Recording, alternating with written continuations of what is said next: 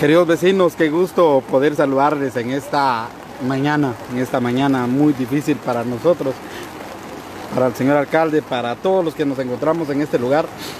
Creo que es muy difícil la situación que estamos viviendo, si ustedes ven, tanto como nosotros, como diferentes familias que están en este lugar.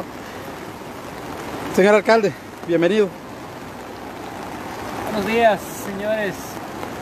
Buenos días, pueblo San Pedro Carchá. Buenos días a todos los que nos están viendo en esta página de la municipalidad. Pues hoy sí estamos muy tristes aquí en San Pedro Carchá porque tenemos varias familias atrapadas que ya no, ya no podemos salvarlas. Hoy a las 4 de la mañana fuimos, conseguimos una lancha, pero lastimosamente el piloto o el que estaba manejando la lancha se dio vuelta y se cayeron en el agua. Pero gracias a Dios que lograron salvarse. Pero, queridos hermanos sanpedranos, yo les pido favor que cuidémonos, cuidémonos. Yo estoy pidiendo al gobierno que nos manden helicóptero, porque aquí en San Pedro Carchá hay más de mil, más de mil personas que están atrapadas y tenemos que salvarlas. Miren cómo está el puente. Aquí es un puente y ya no se mira. Allá en Chistún también ya no se mira. Aquí en Chichún. Aquí en el puente donde está el bombero, donde estaba el bombero. En el puente de donde está Villa Aurora. En el puente de. Está colapsado totalmente. Y también en todas las 26 regiones tenemos problemas. Hay muchas inundaciones. Por eso les pido, señores del gobierno, señor presidente, ayúdenos por favor, mándenos helicóptero para salvar las vidas de nuestros vecinos de San Pedro Carchá que están atrapados. Hay unos que están en el segundo nivel, pero ya llegó el nivel del agua en el segundo nivel. Si no nos ayudan, vamos a tener muchos desaparecidos y muchos muertes. Señores, como alcalde, yo les pido, señor presidente, que nos ayude, por favor. Ahorita ya no podemos hacer nada nosotros, miren cómo está el río.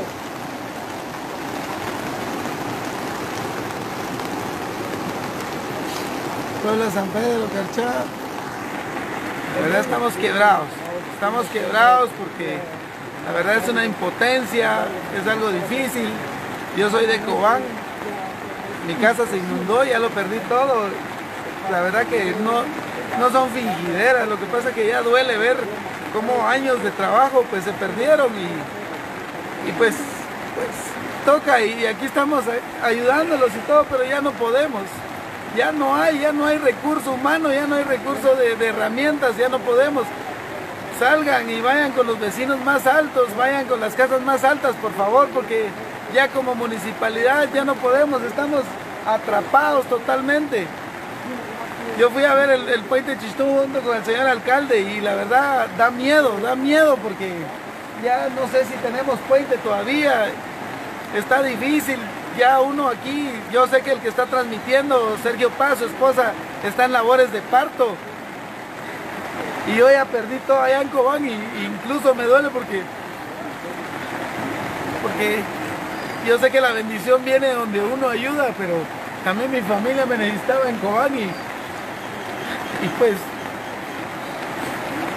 pues está difícil la situación y yo sé que no soy el único. Tenemos un montón de familias que hoy perdieron todo y sabemos que tenemos que solidarizarnos. Somos gente guatemalteca, somos gente chapina que nos tenemos que unir. Ayudemos a los que hay que desalojar, a los que hay que sacarles sus cosas. No nos pongamos solo a criticar y a ver, sino que salgamos a ayudar. Salgamos a ayudar porque ahorita nos necesitamos todos. Muy bien. Todos y cada uno nos necesitamos ahorita. Y ahorita es donde se ve quién- quiénes son los chapines. Ayudémonos porque ya humanamente ya está difícil ayudar. Pero yo sé que hay personas que están poder, poder, poder evacuarlos. Ayúdenlos, vecinos, ayúdenlos. Porque es bien difícil, se los juro. Estoy quebrado porque mi casa se inundó. Bueno, estamos escuchando las palabras del señor director del servicio público. Estamos escuchando de que ya perdió la casa, se inundó totalmente. Y aquí, pues, señor presidente, el 50% del pueblo de San Pedro Carchá está inundada. Pedimos apoyo, señor presidente. Señor gobernador, ayúdenos, por favor. Tenemos bastante gente en los albergues, pero no tenemos qué darles ahora. El comedor No hay comida. social está inundado. Los bomberos están inundados. Centro de salud está inundado. Estamos totalmente incomunicados, señor presidente. Ayúdenos, por favor, y tenemos miles de personas atrapadas. Y solo por helicóptero podemos sacar ahora. Ya no podemos en lancha. No Ya podemos. La correntada es fuerte. La correntada es Miren. fuerte. cómo es la correntada del agua. Y ahí nos estamos dando cuenta de que ya subió más de 10 metros el nivel del agua. Vecinos Y está de creciendo. Carchá, vecinos de San Pedro Carchá, de Cobán, de todos los municipios y de todo donde estamos sufriendo. Unámonos. Ahora no es momento de ver si el vecino me caía bien o me caía mal.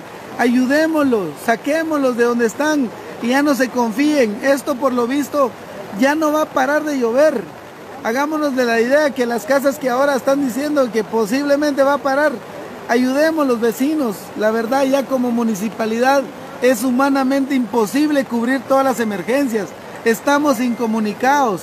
Todos los vecinos con la fuerza que todos tenemos como chapines, es hora de enseñar que podemos ayudar al vecino más necesitado. Hagámoslo, hagámoslo. Yo sé que pues tal vez algunos van a criticar, pero duele perder las cosas. Años de trabajo y todo y se perdieron hoy. Pero hagámoslo por las, por las vidas humanas. Hagámoslo por esas vidas que hoy necesitan ayuda. Hagámoslo por esas personas, los ancianos, los niños. Más vale recuperar vidas y no recuperar cosas. Hagámoslo, señores. La verdad es momento de unirnos. Hagámoslo porque la verdad hay mucha gente necesitada. Nosotros quisiéramos seguir ayudando. Nuestra gente está cansada. Nuestra gente ya no aguanta seguir trabajando. Estamos mojados. Estamos casi, estamos colapsados como humanos. Pero sé que hay vecinos fuertes, hay vecinos que pueden echar la mano. Por favor, esto es un aliento para el que quiera y que sepa que puede ayudar con cargar algo, con, sacar a un niño, con sacar a un anciano. Hagámoslo, pueblo. Pueblo de San Pedro Carchá, pueblo de Alta Verapaz, pueblo Chapín de Guatemala, donde quiera que estemos sufriendo. Hagamos la ayuda. Mojémonos un rato, pero hagámoslo por una vida humana. Hagámoslo porque hoy, hoy es donde se ve el Chapín. Hoy aquí en San Pedro Carchá ya no podemos más, estamos incomunicados. No- ni sabemos, ni sabemos cómo vamos a alimentar a todos los albergues. Sin embargo, estamos confiados que la fuerza y el poder de Dios nos va a dar alimentos. Sin embargo, hay familias que todavía están cerca del agua y que tienen que ser desalojadas, tienen que ser evacuadas. Señores, es momento, es momento de unirnos. El Mitch di- dijo que nos devastó. Esto no se acerca ni siquiera, ni siquiera cerca del Mitch, porque esto es más que el Mitch. Ahora demostremos que somos chapines, demostremos que somos gente que nos ayudamos, nos echamos la mano. Hora de romper con el egoísmo, hora de romper con, con la hipocresía, hora de romper porque estoy cómodo en mi casa y no me está pasando nada. Agarremos la sombría, agarremos nuestra ropa más mejor que podamos y empecemos a ayudar a esos vecinos. Se los juro, señores. Quiebra saber que se pierden cosas materiales. Sin embargo, quiebra más saber que, que se pierdan vidas. Ayudémonos, pueblo. Ayudémonos, porque este es el momento de unirnos. Ayudémonos, es lo único que podemos hacer. Y lo mejor que pueden hacer los que no pueden ir a ayudar, oremos. Oremos porque sencillamente la naturaleza hoy nos está enseñando que el poder de Todopoderoso Jesucristo nos mandó una pandemia. Nos mandó una pandemia y pareciera que no nos unimos. Nos mandó una pandemia y pareciera que fuimos indiferentes al que tuvo la enfermedad. Nos mandó una pandemia y pareciera, pareciera que más lo discriminamos. Ahora nos está mandando una noticia, señores, unámonos, familias, unámonos, ayudémonos humanamente. La municipalidad ya no puede. Muy bien, gracias eh, Felipe, gracias. Eh, a ustedes, a las diferentes familias. Don Winter ya pidió la ayuda del señor presidente Alejandro Diamatei.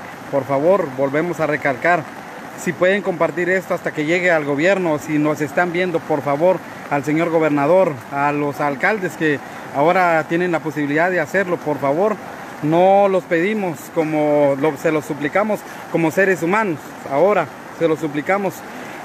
No, en este momento no es Winter, sino todos somos un pueblo, así de que por favor. Señor presidente, con toda la humildad y todo el respeto que usted se merece, hoy es cuando necesitamos de su gobierno, hoy es cuando necesitamos del doctor Yamatei, hoy es cuando necesitamos de todos nuestros diputados, hoy es cuando necesitamos de todas las autoridades.